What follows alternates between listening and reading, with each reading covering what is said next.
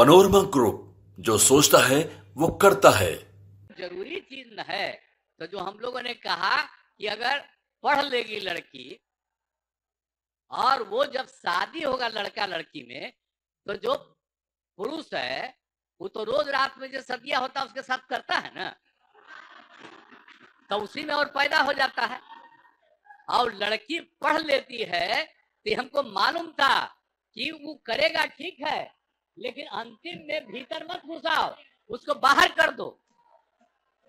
और करता तो है तो उसी में अब समझ लीजिए, संख्या घट रही है। अब आप जान लीजिए कि जो संख्या थी पहले, आप पत्रकार लोग भी ठीक से समझिए। मेरा बतवा को, याद करिए आप पहले क्या था? सुन, चार दशमलव तीन। अब घटते घटते लास्ट ईयर के पहले ही जो रिपोर्ट आई है, अभी तो और हम कहें नया रिपोर्ट दे दो तो दो दशमलव नौ पर पहुँच गए। अब बहुत जल्दी दो के पास हम लोग पहुँच जाएँगे। तो इसीलिए जरा ये जान लीजिए कि कितना खुशी की बात है।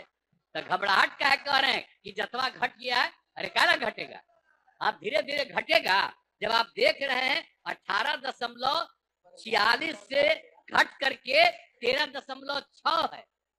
अब चूँकि लड़की को पढ़ाया गया, तब उतना ज़्यादा नहीं होता। अब संख्या घट रही टू पॉइंट नाइन पर आ गए। तो उसका फ़ायदा ना हो रहा है जी।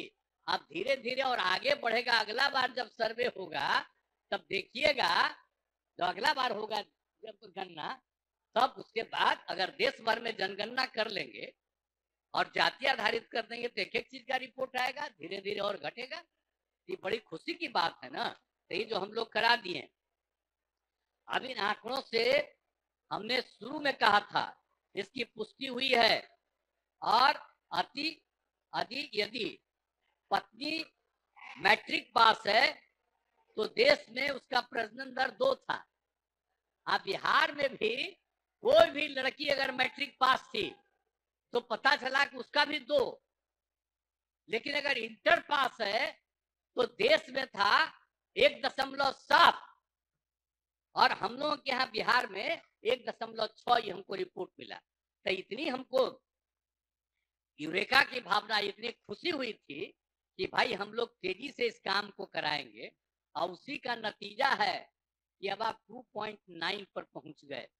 और नीचे जाइएगा। सभी सभी समाज की बात। नहीं नहीं, होवे करेगा धीरे धीरे होगा ना। अरे तो अभी जो हो रहा है सबका आ रहा चिंता मत करिए ना। तो धीरे धीरे बाकी सबको पढ़वाइए ना। अरे वो तो सबको सुनो ना, बैठन बैठन।